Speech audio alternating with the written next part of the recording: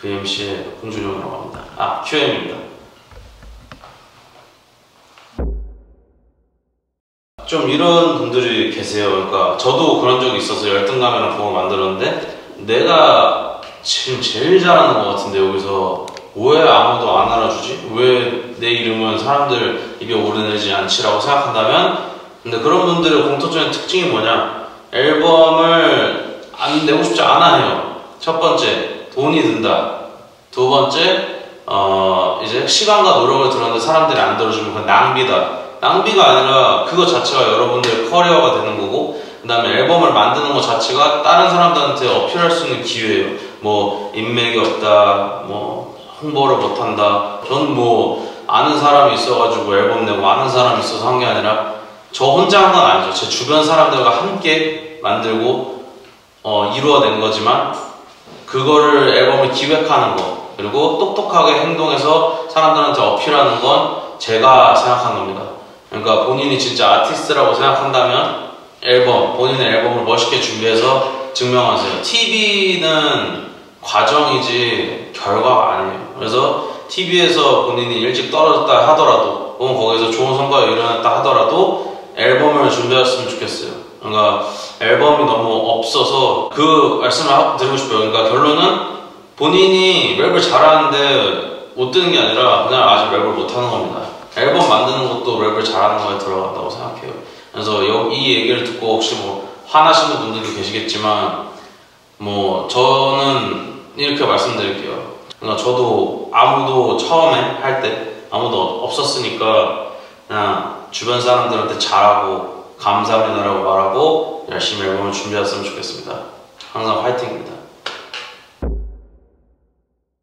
저는 제가 저평가돼 있다고 생각하지는 않아요. 그러니까 제가 받을 만큼의 평가를 받고 있다고 생각해서 저는 앞으로 더 나아갈 단계가 있어서 솔직히 기쁘거든요. 그러니까 만약에 이 땅에서 진짜 아티스트가 한 명도 성공한 사람이 없다면 제가 저평가 받고 화가 나겠다고 이야기를 하겠는데 그렇지 않은 사람이 있고 어, 성공이 도대체 뭘까요? 전 지금 제가 성공했다고 생각하거든요. 제가 원하는 걸로 돈을 벌고 제가 어렸을 때 들었던 사람들과 함께 작업을 하고 그것만으로도 이미 성공하고 충분히 행복한데 성공이라는 말이 원래 소수만 해서 붙는 거라고 생각해요 저는 근데 어, 모두가 성공을 하면 더 성공에 대한 기준이 더 높아질 거고 한도 끝도 없이 돈이랑 똑같은 것 같아요 만약에 뭐 내가 500만 원을 벌고 싶다 했을 때 1000만 원을 버는 사람들 도 열등감을 느끼고 난 성공한 사람이 아니야 라고 생각한다면 평생 성공 못하고 방금 제가 저평가되지 않았다고 생각을 한다 동시에 저는 성공했다고 생각해서 사람들이 저평가에도 그렇게 뭐 감정적으로 실제로 받아들이진 않습니다. 그래서 저는 이 문제에 대해서 제가 더 정진하고 저는 아직 최선을 다하지 못하고 있다고 생각하거든요. 그래서 더 정진하고 더 나아가서 나은 아티스트가 되고 그때 모든 걸 다 했다고 생각했는데도 안 되면 그때 가서 의견이 달라질 수 있어요.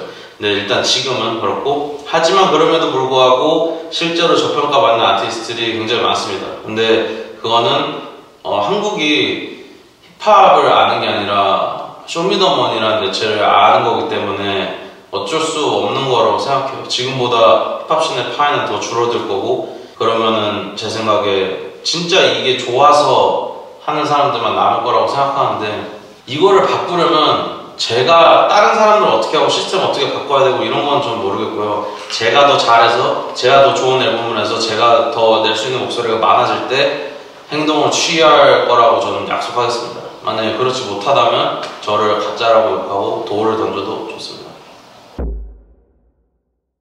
일단 다시 얘기하자면 화나 화나라는 아티스트의 일단 제가 갖는 의미가 상당히 크고 왜냐면 뭐 물론 비난 하나 혼자만 그렇다는 건 아니지만 음악을 들었을 때 교복이 떠오르는 아티스트들이 많거든요. 왜냐면 저는 어렸을 때 들었던 음악이 많아서. 근데 제가 랩을 하다가 그만뒀었는데 한국판 mixtape를 어, 냈을 때 빌스텍스 형님이랑 키비 형님이 도와주셨는데 그게 아무것도 없이 그냥 메일 엄청 돌려가지고 내게 된 거거든요 근데 그걸 내고 공연을 처음 한 게 이제 하나만 전화 와서 Ugly Junction을 하게 된 거예요. 근데 Ugly Junction 한 게 제가 공연을 6년 만에 한 거였거든요.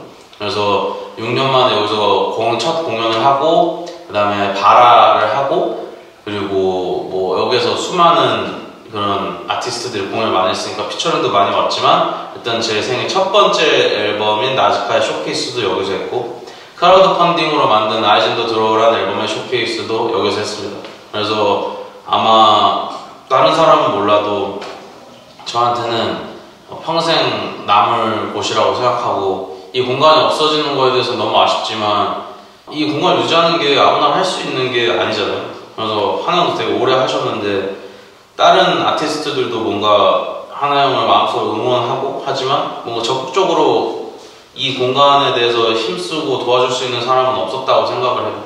그래서 어, 이 공간이 없어지고 나면 좀 더 이 공간을 활용하려고 했던 많은 아마추어 래퍼들이나 아니면 인정을 받기 위한 래퍼들이 좀 더 힘들어질 수 있, 있을 거라는 생각은 해요. 분명히 그네들의 그 목표 중에 하나는 어글리 정션, 뭐 바라서기가 분명히 있을 거라고 생각하거든요. 왜냐면 주변 래퍼들 나가고 거기에 나왔던 사람들이 잘 되고 했었으니까.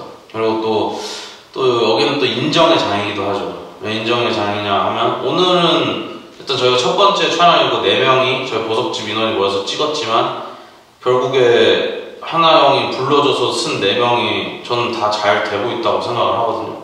그리고 여기 나와서 실제로 잘 된 사람도 많고 그러면 어쨌든 하나라는 아티스트가 아티스트뿐만 아니라 누군가를 보고 인정을 할 수 있는 눈을 가짐을 증명을 한 장소라고도 생각을 하고 그래서 뭐 너무 아쉽지만 뭐 나중에 어글리 정신이라는 이름을 또 부활시킬 수 있겠죠. 뭐 제가 됐든 누가 됐든 이 공간 비단 이 공간만이 아니라도 그 이름을 다시 가져올 수 있는 시기가 꼭 왔으면 좋겠습니다.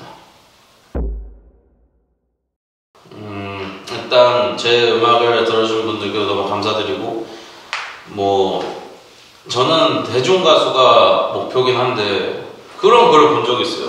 아, 뭐 여기 커뮤니티 이용하는 사람들 대단하다.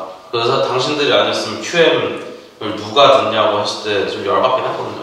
그래도 어 뭔가 공연을 찾아와 주시고 어 해주시는 분들 중에는 언더그라운드 팬 지지자들이 많다고 생각해요.